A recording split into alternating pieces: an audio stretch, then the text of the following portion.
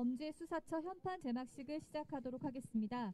먼저 제막 둘, 셋, 제막 큰 박수 부탁드립니다.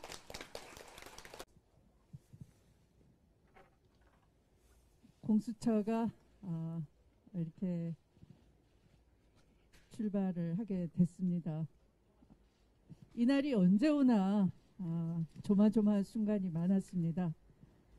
행여 이날이 오지 않을까봐 아, 많은 분들이 이 걱정의 날밤을 보내기도 했었습니다. 그런데 드디어 이렇게 에, 기어이 에, 출범을 에, 시키고 여기까지 오게 된 데는 어, 검찰 개혁을 바라는 대한민국의 정의를 바로 세워주기를 바라는 이 촛불 국민의 염원이 있었기 때문에 가능했다라고 생각합니다. 문재인 정부가 일찍이 김대중 정부에서 공약한 것을 어, 마침표를 찍었습니다. 그러나 이것도 시작입니다. 이제는 어, 제대로 어, 공직 부패를 에, 근절하고 어, 검찰을 무소불위의 검찰 권한을 어, 견제하면서 어, 수사권을 어, 어, 기소, 기소 수사 어, 기소를 이 공수처 안에서도 어, 분리해내서 수사의 전범이 되게 함으로써 제대로 된 어, 권력 기관의 좋은 롤 모델로 거듭나야 할 중대한 책무가 남아 있습니다.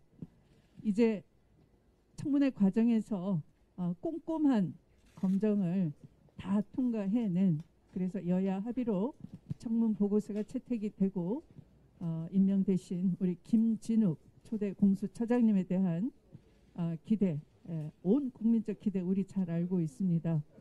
어, 조속히 예, 이 기구를 잘 정비해서 어, 출범시켜서 그 국민 기대에 한치의 어긋남이 없도록 어, 해 주셨으면 좋겠습니다. 그동안 이, 이 갓난 신고를 다 돌파해 내신 우리 남기명 아, 공수처 준비 단장님께도 어, 이 자리를 빌어서 다시 한번 감사의 말씀을 드립니다. 단장님이 아니었더라면 이렇게 잘 어, 준비해서 여기까지 올 수가 없었을 것입니다.